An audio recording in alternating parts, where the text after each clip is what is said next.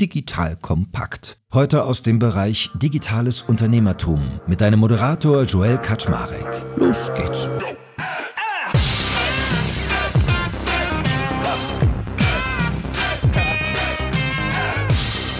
Hallo Leute, mein Name ist Joel Kaczmarek. Ich bin der Geschäftsführer von Digital Kompakt und heute habe ich mit dem lieben Philipp Mierschwa, den Gründer von Stur am Start. Da ist natürlich auch Geschäftsführer und vielleicht hast du davon schon mal gehört, das ist so ein Online-Phänomen. Die Jungs und Mädels verkaufen vor allem Fun. Und ich habe meine gute Freundin Vivian Bisocki gefragt, so, sag mal, wen findest du cool als junge Gründerin? Welches Startup soll ich einladen? Die gesagt, Stur, unbedingt, sofort, go for it. Die verkaufen mehr Fun, als wir irgendwie uns vorstellen können. Da habe ich gedacht, okay, das schaue ich mir doch mal an. Von daher heute mal ein spannendes junges Startup, was eine, finde ich ja, also wirklich alteingesessene Industrie äh, sozusagen aufrüttelt. Da bin ich mal gespannt, was da so los ist. Von daher, lieber Philipp, moin moin, schön, dass du da bist. Ja, vielen Dank, dass ich da sein darf. Was ist deine History eigentlich? Hast du irgendwie, warst du gelernter Koch oder sowas? Wie bist du zu dem Thema gekommen? Nee, gar nicht. Also ich glaube, was typisch ist, ist dieser Foodbezug und dass man gerne kocht, was auf jeden Fall familiär bedingt ist. Also meine Oma, meine Mama sind ganz talentierte Köchinnen und so wurde ich von klein auf da schon auch mit einbezogen. Und eigentlich, als ich meinen Co-Founder Simon kennengelernt habe in Würzburg, wo wir das gemeinsame Studium in E-Commerce begonnen haben, da sind wir noch ein bisschen tiefer eingestiegen und der hat mich da so rangeführt und ja, so kam eins zum anderen. Ich kann mir das richtig vorstellen, der Name ist ja wahrscheinlich, also ich hoffe, ich habe ihn richtig ausgesprochen, polnisch.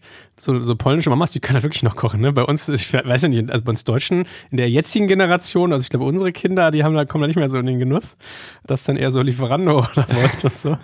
ähm, aber cool, okay. Und dann, äh, also ihr habt euch beide kennengelernt im Studium, wo ihr sozusagen gemeinsam E-Commerce studiert habt, oder wie? Genau, richtig. Also wir haben E-Commerce studiert und hatten beide schon ein bisschen Erfahrung mit dem Thema Affiliate-Webseiten bauen und wir wollten Geld verdienen. Also das, das, das Ziel war Unabhängigkeit, Freiraum, um irgendwie in den Semesterferien verreisen zu können. Und Simon war zuvor in so einer kleinen Agentur, wo so Test-Affiliate-Webseiten gebaut wurden, also wo Produkte getestet wurden. Und ich habe da auch meine ersten eigenen Versuche gemacht und dann kam eins zum anderen und wir haben gesagt, okay, lass uns doch mal was versuchen. Und wir haben die ersten Webseiten gebaut und die waren zum Thema Kochen. Also es ging um Box und Bratpfannen. Wir haben einfach so Analysen, Recherchen gemacht, was denn so Themen sind, die nachgefragt werden. Und dieser Bezug zu unserem, unserer persönlichen Passion hat ganz gut gepasst. Und dann haben wir gesagt, okay, das probieren wir mal. Crazy. Ihr wolltet Geld verdienen und seid in E-Commerce gegangen. Na, herzlichen Glückwunsch. Okay, gesucht, gefunden. Wie kamt ihr auf den Namen? Warum heißt das Ding Stur? Tatsächlich, weil wir uns in den Kopf gesetzt haben, dass die Pfanne für immer halten soll. Also der Weg zwischen Affiliate-Business und Stur war ein bisschen längerer. Also wir haben dann eine Website gebaut, die hieß Pfannenhelden. Das erzähle ich vielleicht nochmal ganz kurz. Mhm. Äh, dann ergibt alles ein bisschen mehr Sinn. Also wir haben als wir angefangen haben, hatten wir nicht so ein klares Ziel vor Augen und haben einfach ein bisschen Produkte getestet, haben die Leute in Online-Shops geschickt, dann eine Provision verdient. Und das war ganz cool, weil wir innerhalb von ein paar Monaten irgendwie genug Geld als Studenten hatten, um eben diese Reisen machen zu können und irgendwie ein ganz gutes Leben zu leben. Und das Ganze war aber nicht so super erfüllend. Und dann kamen wir eben auf die Idee, okay, warte mal, wir könnten das Ganze noch ein bisschen wissenschaftlicher, ein bisschen ernster aufziehen, eine verlässliche Quelle bauen. Und das war pfannenhelden.de, also auch mit diesem persönlichen Bezug da kamen wir auf das Thema Eisenpfannen und haben festgestellt, das ist eigentlich ein ziemlich cooles Produkt, was so ein bisschen in Vergessenheit geraten ist. Hat aber in der Profiküche super viel Anwendung, bietet richtig gute Bratergebnisse, ist super langlebig, weil die häufig aus einem Stück gefertigt werden und eigentlich gar nicht kaputt gehen können. Und jetzt kommen wir wieder zurück zu Stur. Wir haben uns in den Kopf gesetzt, wir wollen unbedingt in Deutschland produzieren, wir wollen eine Pfanne machen, die für 100 Jahre hält und das war so die Übersetzung dafür, dass, dass die Pfanne sich nicht verbiegt und niemals kaputt gehen kann. Hol mich mal ab. Was sind so die Vorteile, warum die ganzen Sterneköche alle gusseiserne Pfannen nehmen? Die sind ja so arschschwer. Das macht sie für mich immer so unattraktiv. Aber warum benutzen die? Was ist an denen so gut? Was die so besonders macht, ist, dass die, wenn sie eingebrannt sind, also ein bisschen länger in Benutzung sind, dann bildet sich da so eine Patina, also so eine natürliche Antihaftschicht. Und du hast im Prinzip unsere Kunden und Kundinnen sagen Teflon ohne Teflon. So. Also mhm. man hat einen sehr starken, sehr guten Antihafteffekt, sodass nichts kleben bleibt ohne eine künstliche Beschichtung. Das ist so einer der großen Faktoren, aber auch eine sehr gute Wärmespeicherung. Also du musst dir vorstellen, du legst was in die Pfanne, die Temperatur geht runter, es köchelt so vor sich hin und es wird dann nicht lecker, weil du nicht diese Röstaromen hast, die, diese Bräunung, die entsteht. Und das funktioniert in Gusseisenpfannen sehr gut. Also die Hitze durch, durch das Gewicht, was du jetzt als Nachteil empfunden hast, wird aber sehr viel Wärme gespeichert und die Kochergebnisse werden besser. Und das ist tatsächlich eins der Probleme, äh, das wir gelöst haben. Also wir haben sie leichter gemacht als traditionelle Modelle Das ist einer unserer USPs. Ich habe gerade so Trapper vor Augen, die irgendwie damals so zum Goldrausch sich so hier irgendwie ihre Bohnen Mais auf solchen Dingern noch gebraten haben. Was macht euch denn sozusagen unique? Also was ist denn bei euch anders als als sonst bei solchen Pfannen, weil es ist ja wirklich ein 100 Jahre altes Produkt. Genau. Also wir, wir wollen das Ganze so in die moderne Zeit überführen. Also diese Nachbearbeitung, die wir machen, ist ziemlich unique. Also wir nehmen das natürlich gegossene Produkt in, in der rohen Form und bearbeiten das nach, sowohl von unten als auch innen. Also es wird unten glatter, damit du deinen Induktionsherd nicht verkratzt oder deinen Glaskeraمیkherd und innen, ähm, um die Oberfläche sanfter zu machen, also diesen Anti-Hafteffekt äh, zu erzeugen, weil die Reinigung deutlich schwerer ist, wenn die rau sind in dieser traditionellen Form. Also das ist einer der USPs. Wir haben uns im Prinzip hingesetzt und überlegt, wie müsste das Produkt aussehen, damit es einsteigerfreundlich ist, weil eben die Leute kennen es als traditionelles Produkt, was eben mit Fleisch und Feuer verbunden wird und wir wollen das eigentlich in eine moderne vegetarisch oder, oder flexitarische Küche bringen und die Vielfältigkeit zeigen. Wir können ja mal ein bisschen schon über Wettbewerb reden. Ich finde, das Erste, woran man denkt, wenn man an, an Gusseisen denkt, ist Le Creuset. So, warum kaufe ich euch und nicht Le Creuset? Le Creuset ist cool, hat gute Designs. Es gibt noch einen kleinen Unterschied. Die beschichten ihre Pfannen mit Email, also es ist so eine mhm. Keramikbeschichtung. Die ist ein bisschen empfindlicher. Unsere Pfannen sind tatsächlich unbeschichtet, das heißt, du kannst mit Metallbesteck reingehen. Wir haben zum Beispiel so einen Pfannenwender, der so eine hauchdünne Kante hat aus Edelstahl und es macht mega Spaß, den zu benutzen, zusammen in, also in der Kombi mit der Pfanne. Und unsere Pfanne ist auch hitzeresistenter, also kann auch auf offenem Feuer und auf dem Grill benutzt werden. Das würdest du jetzt mit deinem feinen Le Creuset Kochgeschirr zum Beispiel nicht machen. Ja, ich habe so ein Fable für Pfannenwender. Hättest du ja mal einen mitbringen können, aber nein. Holen wir nach, holen wir nach. Ich schicke euch sehr gerne Ein Pfannenwender, bitte. Ich kam leider nicht aus dem Büro, deshalb. Ja, okay, verstanden. Ich meine, ist ja auch ein bisschen undankbar, immer zu fragen, ähm, also es gibt auch irgendwie äh, 20 unterschiedliche Autohersteller, ja, so fair enough hat man ja auch vielleicht so ein bisschen sein Fable für manche Produkte. Aber ist es so eine Denkrichtung, in die ihr schaut? Weil Le Creuset macht ja auch ganz viele so Sachen in so kleine so Schälchen. Also, dass du gerne mal so, ähm, weiß ich nicht, so eine, so eine, wie sagt man, so eine, so eine wo du sonst eine Lasagne drin machen würdest. Wie heißen die? Aufbackform. Auf, Auflaufform, so ja. Ne, was, ne? Ähm, also ist es so, was, wo, was bei euch auch als nächstes kommt? Denkt ihr in diesen Dimensionen? Weil bisher gibt es bei euch, glaube ich, nur in Anführungsstrichen Pfannen, ne? Genau, also wir sind da sehr nah an der Community dran. Das ist so auch einer der großen Pfeiler unserer Marke. Ähm, und wir entwickeln im Prinzip alles mit denen, also sehr, sehr customer-centric und wonach die fragen. Also wir sehen uns als Kuratoren und Kuratorinnen. Um deine Frage zu beantworten, solche Sachen sind später geplant. Also unser Fokus ist jetzt erstmal wirklich auf so einer Küchengrundausstattung. Also eben, wir haben jetzt eine Pfanne gemacht, machen jetzt einen Topf, der auch aus Gusseisen ist, können uns auch vorstellen, mal das eine Messer zu machen. Also wir sehen uns eigentlich, was wir geschafft haben mit dieser Pfanne, ist die eine Pfanne zu machen, die für 90, 95 Prozent der Anwendungsfälle extrem gut funktioniert. Und das ist eigentlich der Pitch. Und wenn wir jetzt ein Messer machen würden, es gibt Firmen, die verkaufen dir einen Messerblock mit 13 Messern, aber jeder Koch, äh, jede Profi-Köchin wird dir sagen, du brauchst ein großes oder ein kleines Messer und das reicht dir eigentlich. Und unser Ansatz mit Stur wäre, wir machen das in einem richtig geilen Design, stellen es lokal her in bester Qualität und ja, schaffen so das beste Preis-Leistungs-Verhältnis für dich. Was kostet eigentlich so eine Pfanne von euch? Wir haben jetzt aktuell drei Größen, die variieren zwischen 150, 170 und 190 Euro.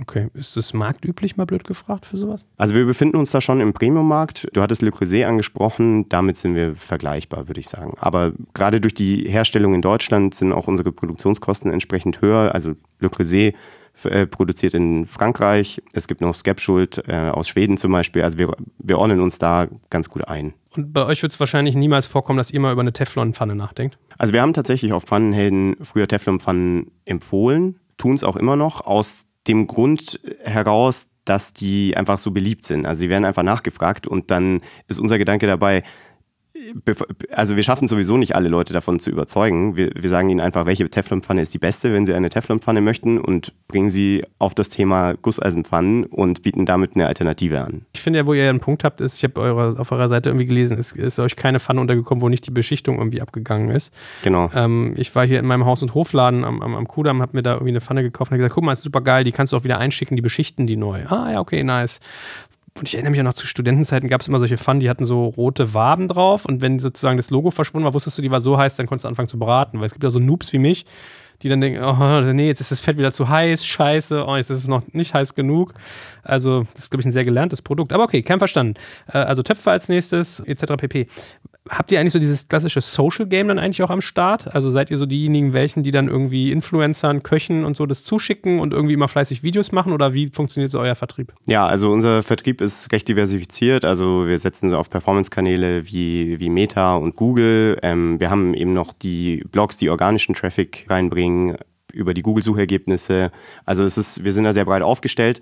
Aber das Thema Social und Influencer oder, oder Kooperation wird auf jeden Fall immer größer. Also was wir machen ist, Leute, die interessiert sind und irgendwie passen könnten, denen schicken wir einfach die Produkte zum Ausprobieren und bekommen da auf jeden Fall immer ja, sehr, sehr gutes Feedback. Und haben jetzt zum Beispiel auch hier in Berlin, wo wir ansässig sind, ganz viele Restaurants in dieser Casual Fine Dining Szene, die die ganz gerne benutzen. Also ich hatte das Thema über offenem Feuer angesprochen, da gibt es Ember OFC heißen die und die kochen nur über offenem Feuer und nutzen entsprechend dann auch super gerne unsere Pfannen. Wer benutzt die sonst noch so? Gibt es schöne Lokale, wo ich mich dann mal Probe schmecken kann? also es gibt äh, das Michelberger Hotel, weiß ich zum Beispiel, die haben welche im Einsatz. Das Bagger oder auch Tim Raue. Also wir haben auch wirklich ähm, ein, zwei Sterneköche. Wir haben zum Beispiel auch einen der wenigen drei Sterne Michelin Sterneköche äh, in München, den Jan Hartwig der das Produkt von seinem Vater empfohlen bekommen hat. Also es ist eine super coole Story. Also es, wir, wir werden tatsächlich ganz viel weiterempfohlen. Das ist auch ein sehr relevanter Kanal. Also sein Papa hat unsere Pannen gehabt und meinte, du, Jan, der ja ein ganz beliebter Koch ist und bekannter Koch ist, probier die mal aus. Stur macht hier eine feine Sache und er hat die ähm, ausprobiert und hat dann auf Instagram gepostet, in seine, äh, seine Story, dass es die beste Pfanne der Welt sei. Ohne jegliche Oha. Kooperation, ohne jegliche Bezahlung, einfach weil er so überzeugt ist. Und er hat irgendwie, letzter Stand, 110.000 Follower. Also Oha. sowas entsteht dann einfach mal. Gut, dann melde wenn man ein gutes Produkt macht. Neben einem Pfannenwender melde ich mich dann auch ein, für eine Pfanne, äh, beziehungsweise kann ich ja kaufen. Aber äh, krass, das ist ja super. Die kriegst du auch gerne so freue ich mich damit. Das wollte ich hören. Nein, aber Spaß beiseite. Das ist ja aber natürlich cool, wenn man so eine Grassroot-mäßige Bewegung da irgendwie hinkriegt, weil das macht es ja irgendwie stark. Kannst du sagen, wie viele ihr eigentlich verkauft so pro Monat? Also es variiert sehr stark nach Saisonalität. Also gerade das Wintergeschäft, das Vorweihnachtsgeschäft ist, ähm, ist sehr, sehr stark bei uns. Also ich sag mal ein paar tausend im Monat. So, das ist die Größenordnung. Und wo fertigt ihr die, wenn du sagst, ihr macht das in Deutschland? Habt ihr da sozusagen eine, eine Company, die beauftragt habt oder habt ihr Leute angestellt, die die herstellen? Also das ist nochmal ein ganz guter Reminder an den Namen Stur. Es war nämlich gar nicht so einfach, das aufzubauen. Also wir haben am Anfang waren wir ja eben einfach nur zwei Blogger, die diese die Pfannenhelden diese Website gemacht haben und eigentlich keine Ahnung davon hatten. Wir dachten eigentlich, okay, wir, wir suchen uns jetzt hier einen Hersteller, der sowas machen kann, sagen, so soll das aussehen und dann geht's los. Und der ganze Weg dahin war ganz schön steinig und schwer und wir haben zusammen mit dem Hersteller das komplett neu aufgebaut. Also wir haben in Rheinland-Pfalz einen Automobilzulieferer gefunden, der ja eigentlich eine ziemlich große Company, die aber eben recht langweilige, sage ich mal, Maschinenbauteile macht, also die, die irgendwo verschwinden und verbaut werden und nicht wirklich nach außen vorzeigbar sind. Und die fanden das Projekt mega cool, weil das jetzt am Anfang zumindest jetzt nicht besonders umsatzrelevant für die war, aber einfach ein Produkt, was man Kunden, Kundinnen, Partnern und so weiter in die Hand drücken kann. Und dann haben die sich darauf eingelassen und wir haben, glaube ich, im Prozess festgestellt, es ist viel aufwendiger, als beide Seiten dachten. Also die Ansprüche, die wir hatten an Verarbeitungsqualität, an, an die Wandstärken des Produkts. Also wir bewegen uns, um das Gewicht eben zu optimieren, auf einem sehr niedrigen Level. Also sie sind sehr dünn. Wir haben so den Sweet Spot gesucht aus Hitzespeicherung, aber eben leicht genug in der Handhabung. Ja, haben dann einen ganz guten Partner gefunden und nach so ein paar Monaten hat das dann auch tatsächlich funktioniert. Ich kenne mich da gar nicht mit aus. Wie wird sowas hergestellt? Also holt man sich da so Eisenerze, die werden eingeschmolzen, dann wird es in Form gegossen? Stelle ich mir das so vor oder wie fertigt man so eine Pfanne? Ja, genau. Also in, in ganz simpler Form, du hast so eine Negativform aus Sand. Also musst dir vorstellen, du hast mhm. ein Modell, daran wird Sand abgedrückt, die wird auseinandergezogen und dann wird so eine Eisenmischung angerührt und erhitzt und wie bei so einem Rezept eigentlich, also wie bei einem Kochrezept, wird immer wieder ein bisschen was nachgeschüttet und so weiter, damit man dann die perfekte Mischung hat. Und dann wird es von oben reingegossen und ja, kühlt dann aus. Und dann folgen aber natürlich noch ganz viele Nachbearbeitungsschritte, um das Produkt dann wirklich edel zu machen und funktional. Kann man sowas eigentlich recyceln? Also könntet ihr jetzt hingehen und könntet sagen, äh, wer noch alte Gusseise schmiedet in der Pfanne, schickt die uns und wir machen da neue draus oder geht das nicht? Ja, doch, genau, tatsächlich das. Also ja. wir, wir haben mit dieser Gusseisenpfanne, das war eben auch eine, eine der Ideen, die wir von Anfang an hatten, ein zirkuläres Produkt. Also du kannst das Ding nehmen. Es passiert sehr selten, weil wir geben 50 Jahre Garantie und die Dinger Ach. halten auch einfach ein Leben lang. Also wir haben, 50. Okay. Ja, wir haben, wir haben Modelle, die über 100 Jahre alt sind und immer noch gut funktionieren. Also aber um den Leuten die Sicherheit zu geben, geben wir diese Garantie und die halten wir auch ein. Wir können alte Pfannen auch zurücknehmen und die wieder einschmelzen, aber bisher ist es noch nicht so ein relevantes Thema. Ihr müsst so eine Marketingaktion draus machen. Äh, schickt uns eure Le Creuset-Pfannen, wenn ihr mal was Ordentliches haben wollt. Wir gießen die euch in eine Sturpfanne. So. Da wird schon wieder schwer, weil die natürlich, ähm, die haben das Gusseisen und, und diese Emaille-Beschichtung, genau, und das kriegst du nicht mehr auseinander. Aber das ist eben ja ein wichtiger Punkt für uns. Also wir sehen Nachhaltigkeit sehr weit oben in, in unseren Werten und versuchen das bei ja, allen Produktentwicklungen mitzudenken. Ja, und ein Spaß. Le Creuset macht ja schöne Sachen. Man darf ja nebeneinander bestehen. Marktbegleiter heißt es ja so. Ja, Wir haben uns früher noch gehasst, als ich noch Startups gemacht habe. Da war man noch befeindet. ne, cool. Aber wie ist es sonst so? Also merkst du, dass ihr sozusagen so eine ganz spezifische Zielgruppe und Fanboys und Fangirls habt? Oder werdet ihr so auf die typischen Sachen gebenchmarkt? Also bist du dann so in einem Rennen mit irgendwie mit WMF, mit Tefal, mit Zwilling, mit Le Creuset?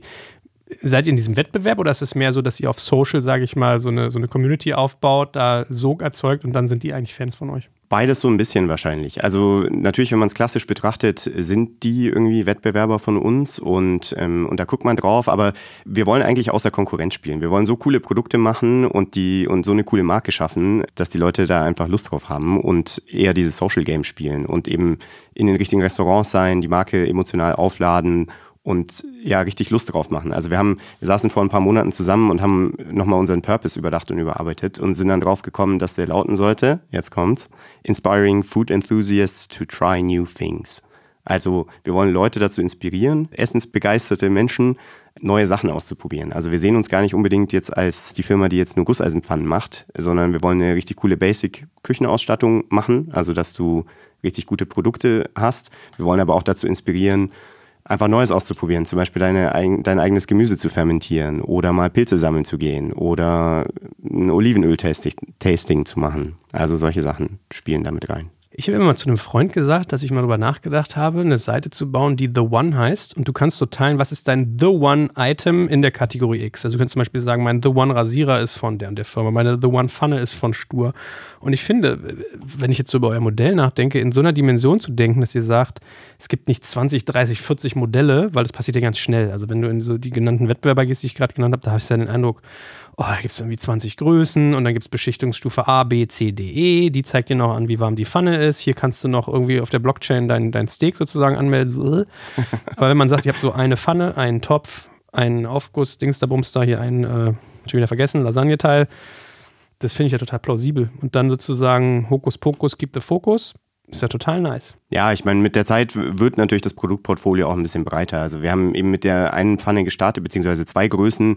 Jetzt kommen die Leute und sagen, mach doch nochmal eine kleinere, eine bisschen größere. Also ein bisschen in die Breite gehen kann man schon, aber eigentlich ist, hast du es ganz gut zusammengefasst. Also unser, unser Anspruch ist immer oder unsere Überlegung ist immer, wie können wir das eine Beste machen? The One, also kann ich nur supporten. Vielleicht sollten wir dir eine Idee klauen ja, ja, und. Bedien dich. Danke. Ich, äh, also ich überlege gerade, wie ihr Marketing macht, weil mir fallen so viele Sachen ein, die, wenn man an Pfannen denkt auch, ja. Also ich denke zum Beispiel, kennst du früher diese Fernsehwerbung mit, äh, während Villa Ribo noch schrubbt, ist Villa Bach schon fertig oder so? Kennst du es noch von Nee, kenne ich nicht, ehrlich gesagt. Echt nicht? Nee. Da hast du so zwei Dörfer gehabt, die haben Paella gekocht in so einer riesigen Pfanne. Also die war so groß wie irgendwie so ein Tisch oder so, ja. Oder Geil. zwei Autos. Und dann äh, hat der eine hat halt so ein Billigspielmittel genommen, der andere hat Priel genommen. Und dann ah. haben die so, ja, während Villa Riba noch schrubbt, kann Villa Bajo schon wieder Party machen. So. Von daher, äh, so, so eine, also dann schicke ich dir mal einen Werbespot.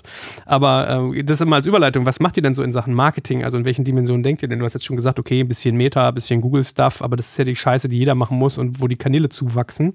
Ähm, was sind denn so die, sage ich mal, erfolgsversprechendsten für euch? Ja, also tatsächlich äh, glaube ich, dass wir eben mehr Content machen müssen. Also ich, ich sehe für uns einen YouTube-Kanal, wo wir zum Beispiel eben in solche Restaurants gehen, die ich genannt habe und einfach mal zeigen, wie wird da gekocht, wie äh, welche Tricks gibt's und ähm, was kann man da lernen, was kann man da mitnehmen. Also ich glaube, dieses Behind, Thema Behind the Scenes ist einfach ein sehr großes, mal so kanalunabhängig und das kann man dann natürlich entsprechend runterbrechen. Aber ich glaube, das Thema Content, da, das steckt komplett noch in den Kinderschuhen bei uns. Also das funktioniert jetzt eben durch externe Partner. Wir machen natürlich auch selber ein bisschen Social, aber sind gerade tatsächlich auch auf der Suche nach einem Online-Marketing-Lead, also einer Person, die das Ganze nochmal in die Hand nimmt, weil das gerade zwischen mir, meinem Co-Founder Simon und Bibi aus unserem Team, unserer E-Mail-Marketerin, äh, aufgeteilt ist. Und wir merken gerade, wir sind jetzt an den Punkt gekommen als Startup, wo das ganz gut funktioniert hat. Also wo wir quasi so den, wie man im Marketing-Sprech sagt, Bottom of the Funnel abgreift, eben durch Performance-Kanäle und ja, so typische Anzeigen.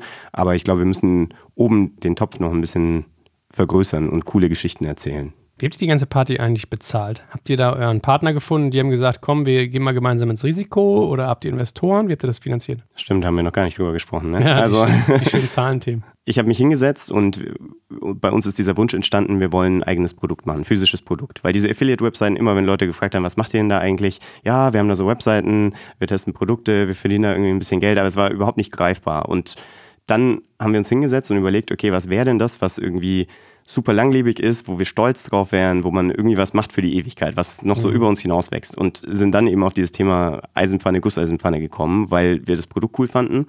Und dann haben wir uns angeguckt, okay, wie könnten wir das launchen, weil Geld hatten wir nicht. Also wir hatten Geld, um so ein bisschen über die Runden zu kommen, aber nicht um jetzt hier in Maschinen und Werkzeuge und in den großen Launch zu investieren und die Produktion vorzufinanzieren.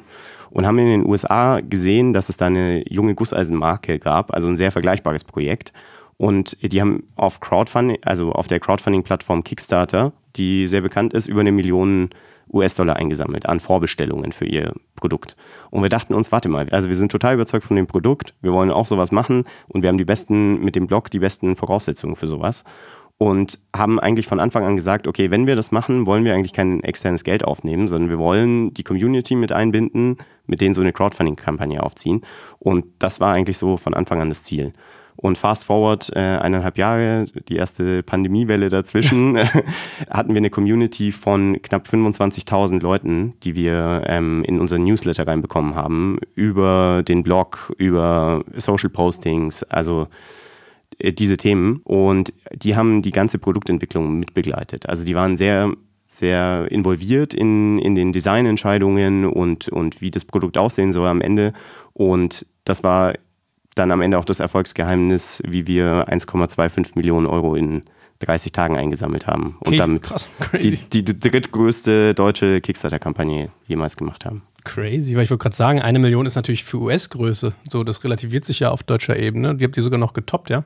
Ja, nicht ganz. Also die haben, glaube ich, ach, jetzt sind wir in den, in den Zahlen. 1,4 oder sowas, genau, aber dann in US-Dollar wie 1,25 in Euro. Also in US-Dollar umgerechnet fast identisch, also so bei eineinhalb Millionen irgendwie und dabei soll es auch bleiben, dass keine Investoren zu euch kommen. Wir waren tatsächlich dann kurze Zeit später nach diesem Crowdfunding-Erfolg, äh, wurden wir angefragt von Sony für die Höhle der Löwen. Also wir waren, ähm, wurden dort eingeladen und waren in der Sendung und haben drei Angebote bekommen von, von fünf Löwen, Löwinnen. Und hatten aber den Luxus, dass wir gerade diese riesige Crowdfunding-Summe eingesammelt hatten. Und ähm, ja eigentlich erstmal die Produktion zum Laufen bekommen sollten. Also hätten wir jetzt mehr Geld eingenommen, muss man sagen, hätten wir gar nicht so richtig gewusst, was wir damit machen sollen. Und wir haben gesagt, okay, warte, nochmal hingesetzt und überlegt, wenn wir da jetzt jemanden finden, der uns, der oder die uns strategisch unterstützen kann, dann würde es total Sinn ergeben, weil als Unternehmer haben wir jetzt noch nicht die super große Erfahrung, aber auf das Geld waren wir nicht angewiesen. Und dann sind wir mit einem recht bolden Angebot da reingegangen und haben gesagt, okay, wenn wir jetzt hier unsere Konditionen kriegen, dann machen wir es und ansonsten nicht um es kurz zu machen, wir haben dann ein bisschen verhandelt. Unser, unser Angebot wurde dort äh, halbiert bzw. gedrittelt und dann haben wir gesagt, nee, das, das können wir leider nicht machen. Und genau, dann haben die auch entsprechend alle abgesagt. Und im Nachgang muss ich sagen, jetzt sind nochmal zwei Jahre vergangen, ein bisschen mehr als zwei Jahre seitdem. Und es war auf jeden Fall die richtige Entscheidung. Also wir wollen durch die Community wachsen. Wir können uns weiterhin vorstellen, so Vorverkäufe zu machen, wo wir dann die Produkte ein bisschen discounten und unsere ja, Stammkundschaft bevorzugen oder, oder denen ein gutes Angebot geben und da möglichst nah dran zu bleiben. Also wir sehen uns wirklich als Community-Marke. Ja, aber hast du schlau gemacht. Hast du die Reichweite von da mitgenommen, die Bekanntheit und äh, gleich mal gezeigt, hier, ich weiß, was ich kann. Das ist doch nice. Ja, Hatte auf jeden Fall einen ganz schönen Effekt, ja. Crazy. Na, da haben wir so die üblichen Verdächtigen durch. Was ist denn so deine, deine insgesamt deine Vision? Also was habt ihr euch noch so vorgenommen für die nächsten Jahre? Also wir haben richtig Lust, hier selber dazu zu lernen und äh, eine Marke eben in diesem Produkt- und Interior Space aufzubauen. Also ich, ich bin bei uns fürs Produkt und für die Marke verantwortlich, während Simon so das Thema Finance Operations, die, die Sachen im Hintergrund macht. Und ich bin jetzt ähm, im Juni auf in Kopenhagen bei den Three Days of Design. Also wir wollen uns noch, noch viel stärker in dieser Richtung positionieren und eben die Community stärker einbinden, habe ich ja jetzt schon gesagt. Wir wollen coole ästhetische Produkte machen, also der Designanspruch äh, spielt eine sehr große Rolle bei uns und so nach und nach sinnvolle Produkte machen, die dein Kocherlebnis in der Küche besser machen. Also wir wollen nicht einfach nur irgendwelche Produkte aus China einkaufen und da unser Label drauf machen, sondern wirklich innovativ sein. Was ist denn der, der kleinste gemeinsame Nenner, der immer gegeben sein muss? Also ist es das Thema Gusseisen oder ist es das Thema gefertigt in Deutschland oder ist es das Thema Küche oder weißt du, was ich meine? Ja, ich weiß, was du meinst. Das ist eine sehr spannende Frage, weil wir da auch länger eben drüber nachgedacht haben. Und anfangs dachten wir, okay, es wäre zum Beispiel dieses äh, gefertigt in Deutschland, aber stellen jetzt bei Produkten wie Glasdeckeln fest, okay, das kriegst du in Deutschland fast nicht gemacht oder, oder zumindest nicht in der Form, wie du es haben willst. Also du hast nicht die Flexibilität. Textilien, wir haben eine Kochschürze gemacht, wir haben es dann in Deutschland hinbekommen, aber zu übertrieben hohen Kosten, wenn du nach ähm, Griechenland oder Portugal gehst, die typischen Fertigungsländer für Textilien, äh, hast du da viel bessere Karten. Also am Ende wollen wir smarte, durchdachte Produkte machen. So. Also wenn wir jetzt von dieser Küchenausstattung ausgehen, nochmal um auf das Thema Messer zurückzukommen, dann ist unser Anspruch, das in, in einer extrem hohen Qualität zu machen. Also es klingt immer so wischiwaschi, wenn man das sagt, aber dieser Qualitätsanspruch zieht sich bei uns durch und durch. Das Thema Nachhaltigkeit, also wirklich zu überlegen, ist das Produkt zirkulär, können wir das machen, wie, wie machen wir es langlebig? Also das ist eins unserer Kernelemente und das Thema Design. Also wirklich was zu machen, was auffällt, was außergewöhnlich ist und was du dir kaufst, wenn du Wert darauf legst, eine schöne Küche zu haben. Weil funktionale Sachen, die günstig sind, gibt es einfach massenhaft draußen und damit kann man sich nicht abheben. Also ich habe gerade gedacht, vielleicht sollst du dir wirklich so meinen The One-Gedanken für die Küche gebe ich dir den abnehmen, weil wenn man sagen würde, von uns gibt es immer nur ein Item, meinetwegen in unterschiedlichen Größen, ja, aber wir haben ein Produkt Pfanne, ein Produkt Topf, ein Produkt Messer, ein Produkt, was weiß ich, Schneidebrett und es ist the one you need, ja. So, wir, du, du, weißt, bei uns kannst du dich verlassen auf A, B, C, weiß ich, schickes Design, hochwertig, nachhaltig gefertigt, in der Regel in Deutschland oder wenigstens in Europa. Ja. So, ich glaube, dann ist es schon ein ganz gutes Fund, ne? Ja, nehme ich auf jeden Fall so mit und werde ich, werd ich noch ein bisschen drauf rumdenken. Vielen Dank. Gut, wir reden über unsere äh, Beteiligung nachher. Für den Moment, lieber Philipp, wünsche euch ganz viel Erfolg. Finde ich toll, dass ihr sowas macht. Ja, vielen, vielen Dank, dass ich hier sein durfte. Danke fürs Zuhören beim Digital Kompakt Podcast. Du merkst, hier ziehst du massig Wissen für dich und dein Unternehmen heraus. Wenn du mit uns noch erfolgreicher werden möchtest, abonniere uns auf den gängigen Podcast-Plattformen. Und hey, je größer wir werden, desto mehr Menschen können wir helfen. Also erzähl doch auch deinen Kolleginnen und Kollegen von uns. Bis zum nächsten Mal.